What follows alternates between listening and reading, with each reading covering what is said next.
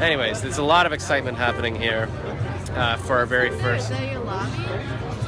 Uh, that's the movie theater lobby. That's part of there's Luma and then there's a bar there. It's a very long couch. We should go sit there and have a cheese plate and some wine later.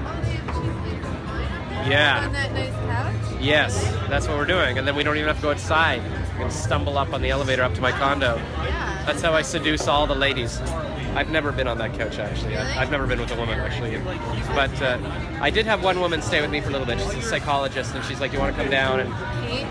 no, it wasn't Kate. Kate's a fake psychologist. This woman's like a legit psychologist.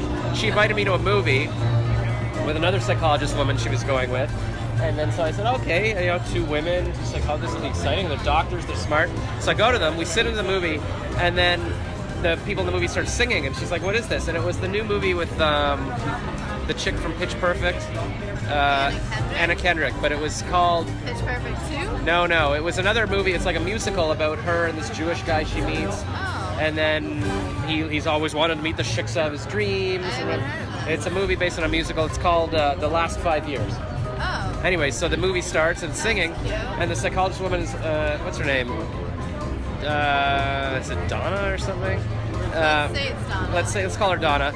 And uh, she's like, "Oh, I hate musicals. I hate musicals." And then she walks out, but I'm like, "I'm She already." walked out? She's like, "Let's go," and took her friend with me, and I'm like, "Well, what took her friend with her?" They need a psychologist. Yeah, they need psychologists, and I was like, "Well, I've already paid, so I feel like I should be here, even though I hate musicals And too." was it this theater? It was this theater. So you didn't have to leave because you lived there. You didn't need a ride home or anything. No, I so I wasn't. So, anyways, my point is that I stayed for the whole movie, and then I met them here on the couch, and they had already gone through some wine, and they were for cheese cheese plate, plate. and I ordered. I think How they. Was the movie? It wasn't great. It was very. I mean, it, it probably would have been. Did A, you miss out on the wine and cheese plate? I had a bit of wine later, and I got my own cheese plate. Oh. So I felt, but then nothing happened. There was no threesome. Donna or whoever just probably. Were they attractive?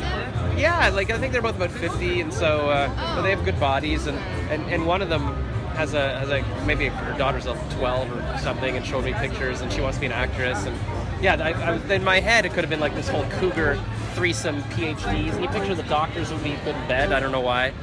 Uh, that they know about the body, but they're psychologists, so maybe they could do sex things to my mind. I'm not sure exactly what I was I don't thinking. know. I think maybe you lucked out that it didn't happen. Probably it's probably a fine thing that I escaped that whole thing.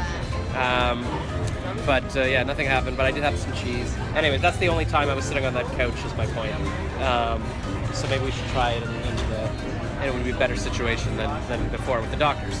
Yeah. All right, so that's a plan, and uh, now we're waiting for our food. So we'll see what happens. Bye.